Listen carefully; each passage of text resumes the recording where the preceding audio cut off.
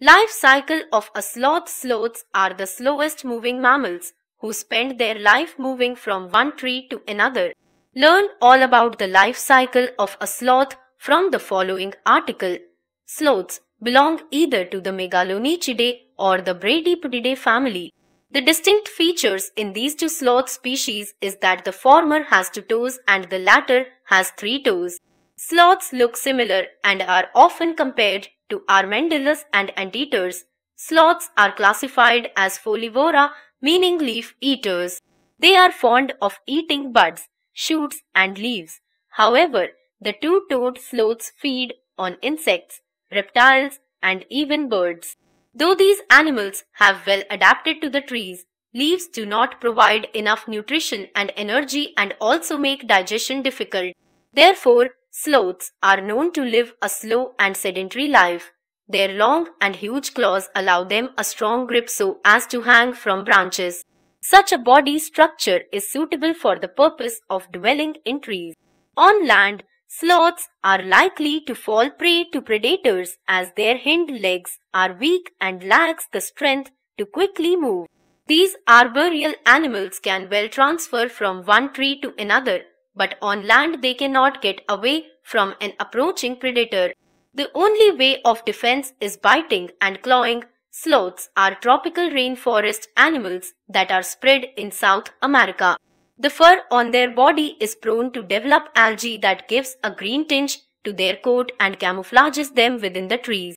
Sloths are nocturnal animals who spend their time hanging upside down on the tree branches. Even the hair on their body grows backward. Biological cycle of life as mentioned earlier. There are two types of sloths, two-toed and three-toed. The life cycle of sloths of the genus Choloepus and genus Bradypus are different. The gestation period for a three-toed lasts for 150 days while that of a two-toed sloth is about 12 months. Sloths give birth while hanging in the trees. The young ones of sloths are born with claws and wrap themselves around their mother for 9 months after their birth. Female sloths nurture their newborn for 6 months. After two weeks of birth, the mother introduces a leafy diet to their little ones. After six months, the female sloth leaves its little one with the other sloth species. At this time, the young one learns to fend for itself and survive the wild environment. If it succeeds, then it can live for up to a complete sloth lifespan. The young one's behavior and basic mannerisms are influenced by their mother. Even the eating pattern of the young one is similar to that of their mother. The females and males live together in the same tree during the breeding time. Female sloths often live together while the male sloths are observed dwelling in different trees. Female sloths reach sexual maturity earlier than the males. The different species of sloths will mature at a different age. Hoffmann's two-toed males reach maturity at around 5 years of age and females at 4 years.